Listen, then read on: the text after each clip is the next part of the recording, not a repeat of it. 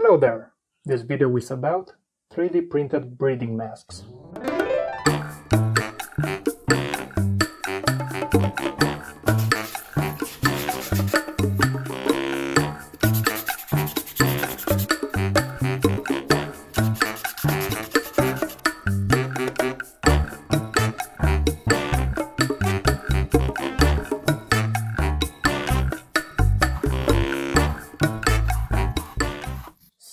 How we're going through some hard times now, battling a weird virus that's come around, I've started working on designing and building a breathing mask that could filter out virus and bacteria as well as other particulate matter uh, floating around in the air.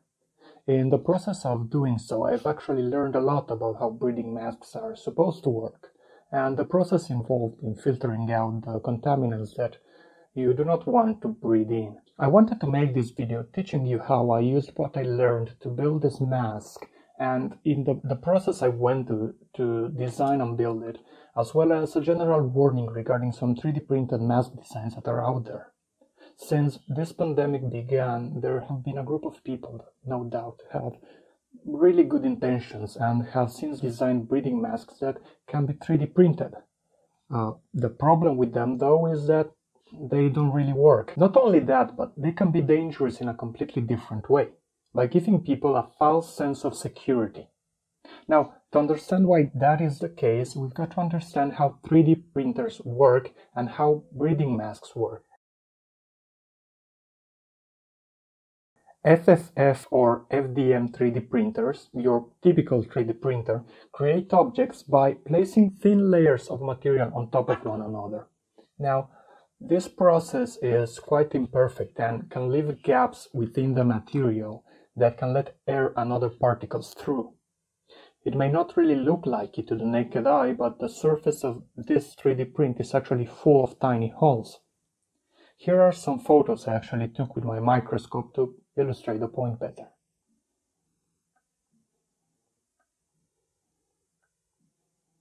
The layers that make out the 3D print can have gaps between 6 and 8 microns thick. Viruses like the one going around right now are 200 times smaller, around 0.08 to 0.03 microns in diameter. Of course, this issue would be resolved if you'd have access to a powder-based or resin-based printer, with medical grade materials of course. But most people uh, that would be printing these masks don't really have access to such equipment. Another problem with the surface left by the 3D printer is that it is quite rough. And because it is printed with normal PLA or ABS, it is a great breeding ground for bacteria. And they're rather hard to clean and disinfect. Now, all of these problems can be overcome rather easily by changing the actual surface of the 3D print. Like I did with this mask. This process is rather simple and I'll go about explaining the steps I took to make this happen and to show you how I built this mask. But before that, there's another issue I've got to discuss when uh, talking about breathing masks and the way they actually work. Masks like this 3M N95 mask that I've got here or this surgical grade mask work by having a layer of intertwined fabric that will stop particles growing through it. Like I mentioned previously, a virus can be really, really tiny, but here's the thing. Uh, there needs to be a balance between breathability and filtration. It is impossible to make a filter that will catch 100% of particles because it will also not let enough air through it. These masks overcome this not by having really dense filters, but by having multiple layers of filtration. So a particle attempting to enter the mask would be like an arrow being shot through a forest of trees. The arrow will travel a couple of meters, but it will eventually hit a tree on the way to the target. We can get our filtration material for our mask from an already existing surgical mask or an N95 mask. It is also possible to use a vacuum cleaner bag or a HEPA filter. In this case, I wouldn't really recommend it unless you really know what you're doing. HEPA filters on vacuum cleaner bags usually come with a rating written on them depending on the type of filter that uh, and its intended purpose. it might not really provide enough filtration. Another very important thing when discussing the way breathing masks work, that might actually be the most important thing about the way they work, is the seal.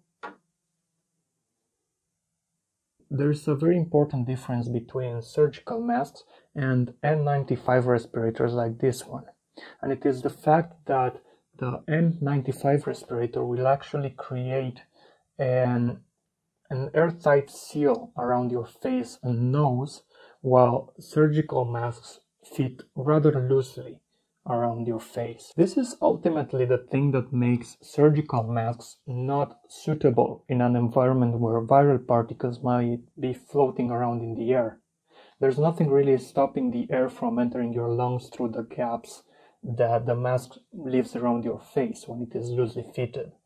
Uh, in comparison, an N95 mask has a much tighter seal around your face. It isn't perfect, but it is much better than your standard surgical mask. Of course, if you do not have an N95 mask available, uh, you should still wear the surgical mask. Now, in this category is where 3D printed masks actually fail pretty spectacularly at. There are a lot of examples I could cite here, and there is actually one in particular I'd like to discuss about, but I will leave that for the end of the video. I would like to first show you how I built this mask first. The way I got about solving this problem with this 3D printed mask was by testing multiple rubber materials that I could put around the edge of the mask to actually create an airtight seal. I ultimately settled on this rubber window padding tape that is used to prevent air from entering through tiny gaps in older windows that don't seal well enough. It works surprisingly well for this purpose and it might actually work to adapt other 3D printed masks as well.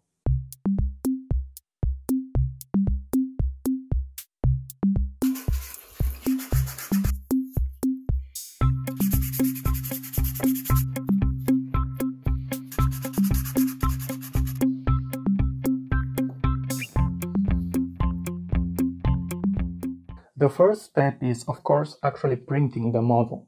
The model will come out of the 3D printer rather rough and with an unequal surface. It doesn't really matter how good your 3D printer is. We're worried about micron level gaps in the surface that are actually impossible to avoid with standard FDM 3D printers. What we're going to do is actually change the surface of the print entirely by sanding it filling it and then painting it with acrylic paint. There's a great tutorial on how to do this by Juresnip.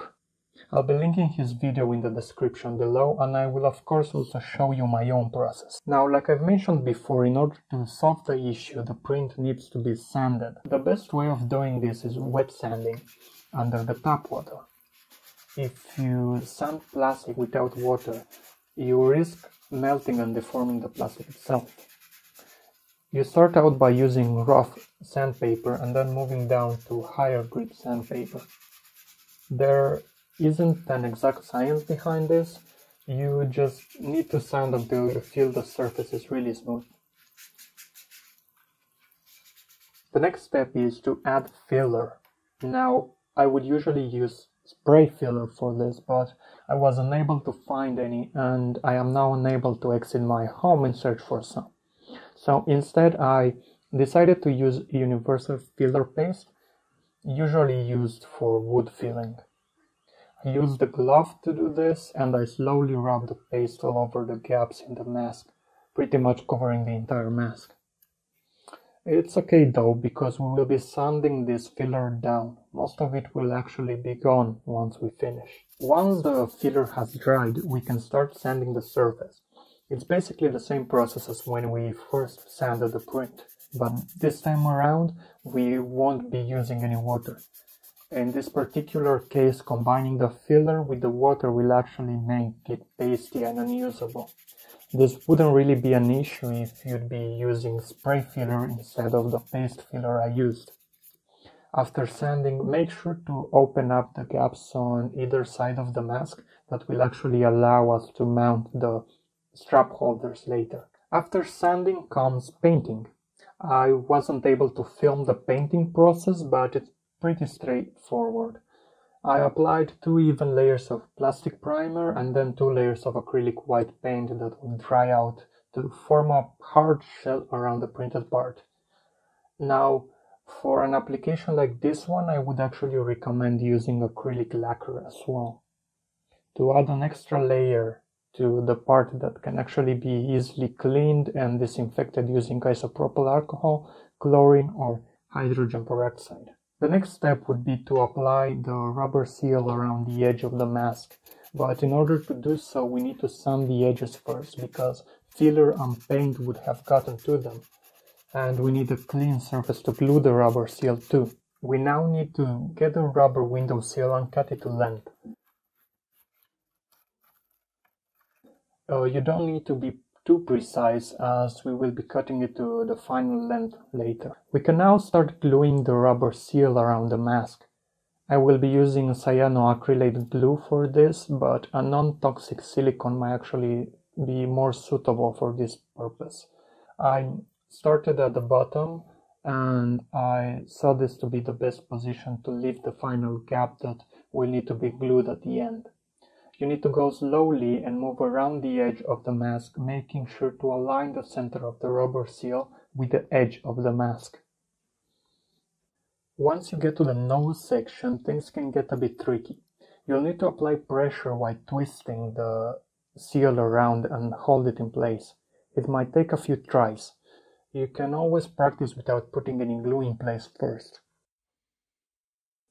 Once you get to the end of the run, you can cut the seal to length. Make sure to cut it straight so that both ends meet against each other. You can then apply glue and press them against each other.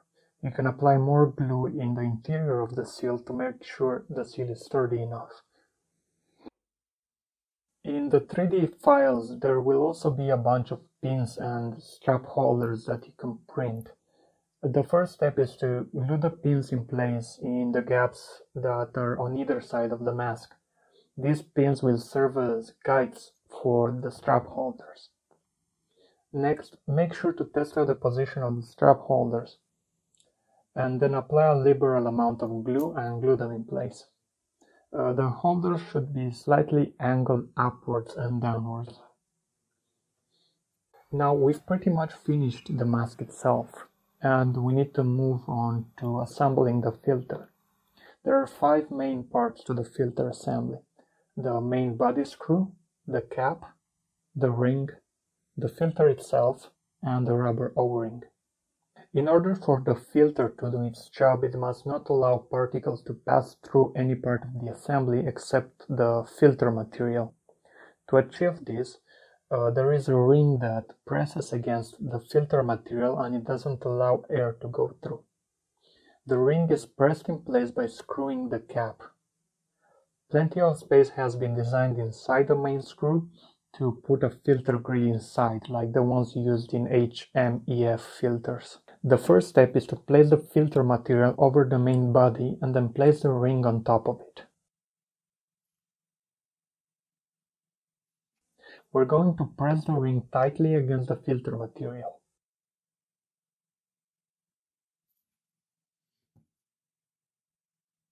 After we're sure the seal is tight enough, we can go ahead and cut all the excess material.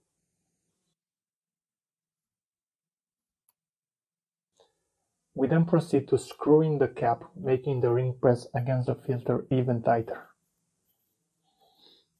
Now we could screw the filter into the mask and if we intended to glue or silicone to seal it permanently on, that would be okay. But the point of the screw-in filter is to actually make the mask reusable. After all, you can make more screw-in filters easily, but making a mask isn't as easy. In order to preserve the capability of screwing in the filter without sacrificing the airtight seal around it, we need to add an O-ring before we can screw in the filter. A custom-made rubber O-ring would be perfect, but in my case I lack the materials to make it. So instead I decided to use a replacement material that works just as well. Funky foam. It is a rubberized foam material, so it shares many of the same properties. In order to cut the O-ring to the correct dimension, I modeled and printed this stamping tool.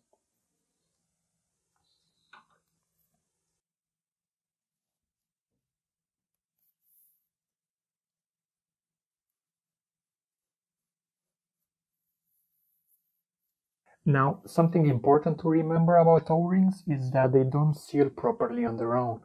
They require some kind of lubrication in order to produce a good seal. There exists a special vacuum seal on O-ring grease, but for our DIY purposes, standard silicone grease would also be able to maintain the seal. It just won't last as long. Now, with all that, we're done building the mask.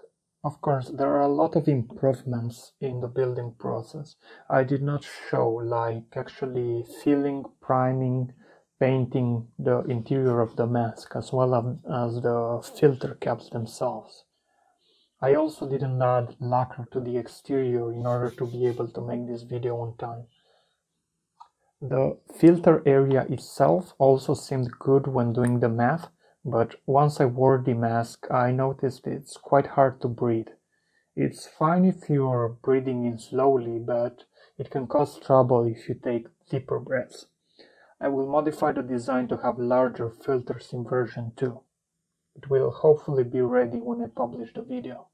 The filtration capabilities of the mask depend on the filter material of your choice.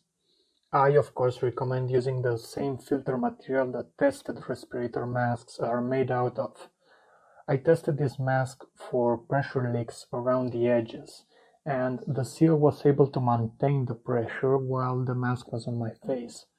So I'm confident this mask won't have the same issues that many other 3D printed masks have out there. Now, like I've mentioned before, 3D printed respirator masks uh, fail spectacularly when it comes to the seal around the mask.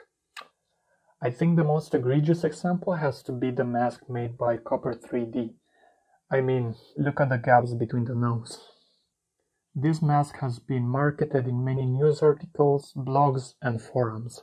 If you're in the maker community, you've no doubt actually seen it around. They even claim they use patented technology and advanced R&D to make the mask with various partners.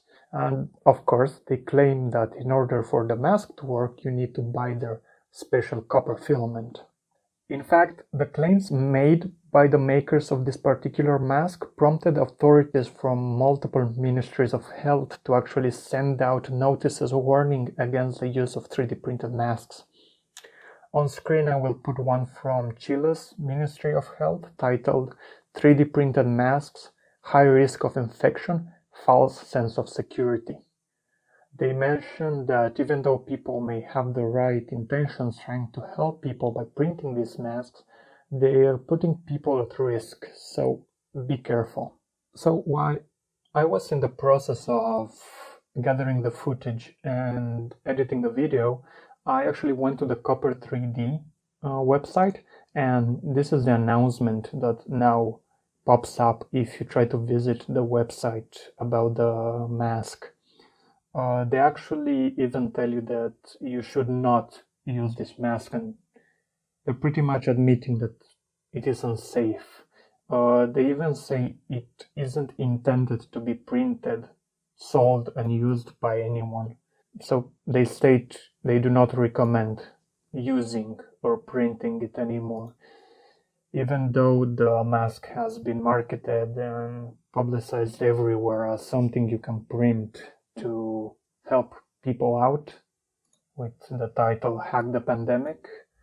Uh, yeah, it doesn't actually work and it's actually quite dangerous. I have designed this mask specifically to be safe and to be able to be used in an environment where air might have a viral or bacterial load. This is why I changed the surface of the 3D print. I placed material around the edges of the mask to create an airtight seal around the face and design screw-in filters with O-rings that wouldn't let air into or out of the mask unless it passes through the filter first. Even though I'm confident this mask will offer more protection than your standard surgical mask, it should be used only as a last resort. if you do not have access to mass manufacture protection equipment like N94 masks. While 3D printing masks may help short term, it isn't really sustainable long term, especially keeping in mind the time consuming process of building one of these masks. Many people are printing these objects not actually knowing how to help or what to do with them. In the past week, I designed a respirator mask meant to be used with a Venturi's valve designed by Philip Kolber. I received many messages asking me, after they've already printed them, asking me how to use them and what they are for. I know it is well intentioned, but you should contact your local hospitals and ask them what they need first. Uh, one of the safest and most useful things you can 3D print and build are face shields. Even Prusa Research designed their own and made the files available online to download. I will actually put the link in the description below. Now with all that we've come to the end of the video. I hope you learned something and stay safe out there. Bye.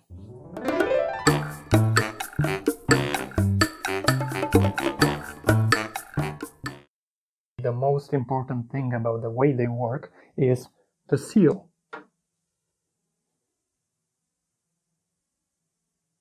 That joke was terrible.